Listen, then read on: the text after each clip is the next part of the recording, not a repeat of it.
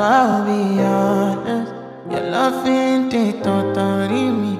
I am so obsessed. I want to chop your kwabi ule. Your body they make.